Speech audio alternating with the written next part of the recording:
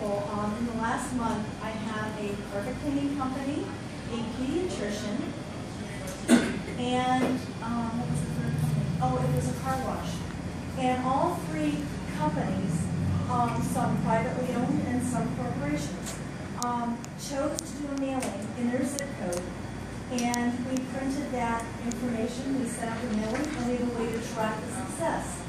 One of the businesses so far has told us that they have, um, five times the return they did of placing an ad in a local magazine.